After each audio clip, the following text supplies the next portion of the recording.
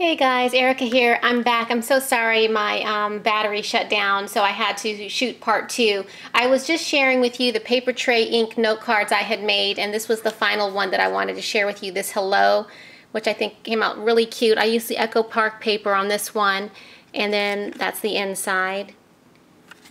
I love all the layering. That's what the dies create with all, you know, all the different dies it comes with. And then this Hello is a Spellbinders um, die from the um, die set that I shown, the phrase set 2, this one right here.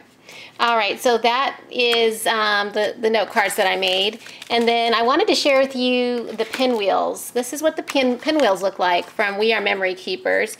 And I just thought these were so extra cute. I found this set Tuesday morning, and it's the um, Shape Dies pinwheel. And that's what it looks like um, cut out. It's one, two, three, four, yeah, like five, six different cuts that you have to make.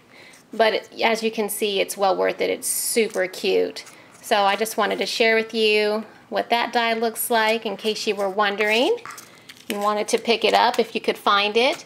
Right here is the mini popcorn box um, that I picked up from Tuesday morning and it is the, um, it's made by We Are Memory Keepers. Yep, um, and this is what the box looks like. It's the popcorn box and that's what that looks like right there. And that's the die. It's super cute. Even though it's mini, this would be so cute for like a party favor. You know, you could, you know, do a lot with this little little thing. It's just extra cute. And then here is the pizza box.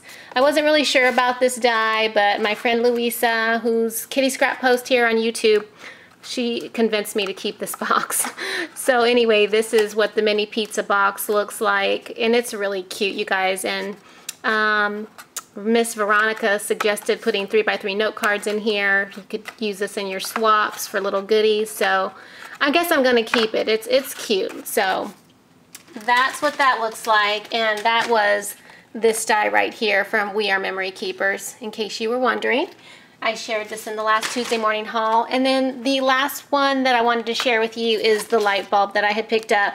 And that's what that looks like cut out. And I just wanted to show you guys. I'm not sure if I shared this or not. I can't remember. But I'll go ahead and share it again. So that's what that looks like. Um, another cool find that I found at Tuesday morning that I forgot to share with you guys is this. Um, it's Imaginesse. And it's one of these like picks, you know, where you can pick up your, your glitter, your sequins. But the cool thing about this is, and it has a flashlight on it, you guys. Look at that, there's a light. So it like, see how it's shining? How cool was that? I just noticed it yesterday. I took it out of the package because I bought this and it wasn't in the original package. For some reason it was out and I just needed new tweezers so that's why I just picked it up. And I didn't even know it had a light bulb but I thought that's really cool. So if you see this in Tuesday morning you should pick it up. That's just a kind of a really cool tool to own. Alright moving along the last couple little things I was going to share with you guys are these super cute stickers that I found at the Dollar Tree. How extra cute are those? And I just thought these would be good for planners. I could stick these in my planner you could do some rosettes and you know these could be like the little centers and I just thought those were so super cute. So I picked up those from Dollar Tree and then I was at Target a few days ago and I just picked up some pom-pom trim. I just thought those were cute. They were a dollar a piece.